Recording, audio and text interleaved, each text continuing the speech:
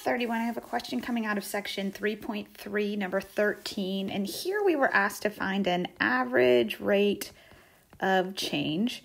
And whenever you hear that phrase, average rate of change, that's going to be something that we're, or that's that's code for get me the slope. All right. And when you think about slope, we're always talking about a change in y over a change in x, right? And we remember that formula y2 minus y1 over, oops, x2 minus x1. So basically what we're doing is we're subtracting some y values, right?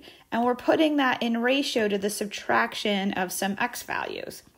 All right, now you're given the x values in this problem. We can see x1 and x of 2 right here, 1 and 1 plus h. So in a moment, I am going to subtract those.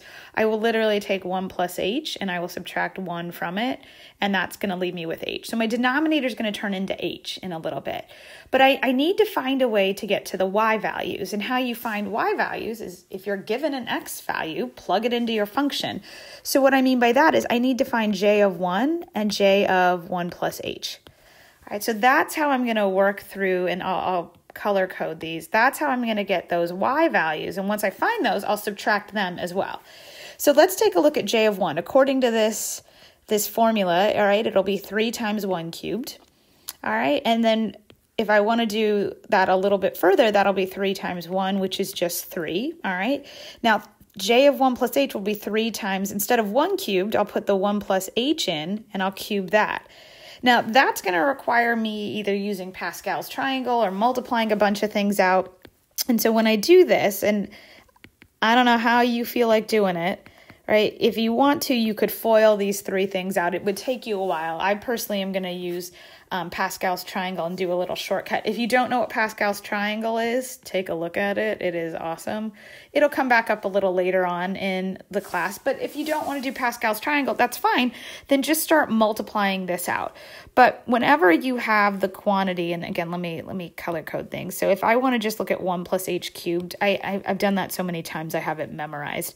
It's going to be h cubed plus 3h squared plus 3h plus 1.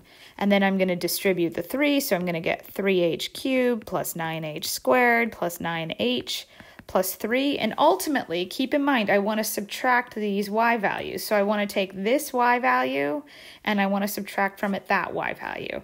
And those two things are going to go into the numerator of my slope. And then don't forget, we had our difference in x's and that's going to go into the denominator right? So i'm just i'm subtracting some stuff and that's the algebra that you see going through here. So you see my difference in y's right? Here's j of 1 plus h here's j of 1 and i'm subtracting them right? My denominator was just the h because when I subtract these two x values, I just have h.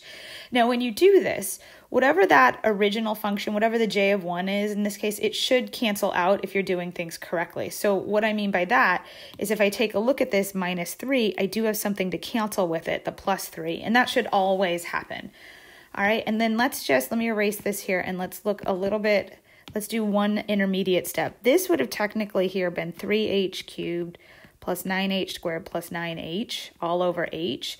But I think you can see they have the h in common, so I can factor that out, and that's what I'm doing in this step. And then it allows me to cancel those h's, and that's what I'm left with. All right, so I know that's a lot of algebra. I mean, it's part of the fun. We're called college algebra, but that's how I get to that expression. And this this idea, of this average rate of change, especially with these variables, like you see that there's an h left over because we had an h to start with, that's going to show up in calculus. So this will definitely pops, uh, I'll put pops up in calculus. All right, so this idea of this average rate of change, it pops up in calculus and we actually tack one more thing onto it called the limit, but that's that's something coming later on down the line. All right, thanks so much everyone. Bye.